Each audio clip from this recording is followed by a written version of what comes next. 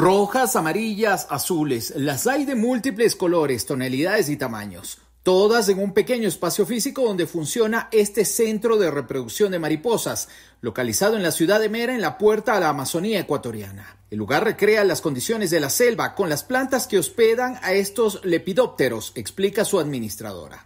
Con la finalidad de brindar un servicio de educación, de investigación y de incentivar a, la, a la investigación en sí, a la ciencia. Adriana Rodríguez cuenta que las mariposas pueden vivir entre tres días y un mes. Durante ese tiempo son clasificadas y estudiadas. En la actualidad, sus mayores enemigos, dice, son la tala de los bosques y especies de aves e insectos que se comen sus huevos.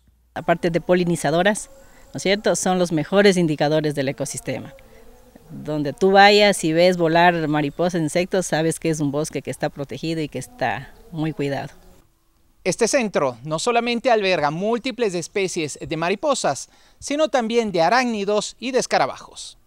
Coleópteros o escarabajos de gran tamaño también se reproducen aquí. Sin embargo, el centro también alberga diferentes especies de arácnidos amenazados por el avance de la frontera urbana y el tráfico de especies. Uno ve una tarántula de este tamaño, decimos que es un poco más grande que mi mano, y nos asustamos y lo, y lo matamos, es porque pensamos que nos va a hacer daño. Ella no nos va a hacer daño mientras nosotros no le, no le ofendamos. El Código Penal en el país andino establece penas de hasta tres años de cárcel para quien trafique fauna silvestre, protegida por la Autoridad Ambiental Nacional. Néstor Aguilera, Voz de América, Quito.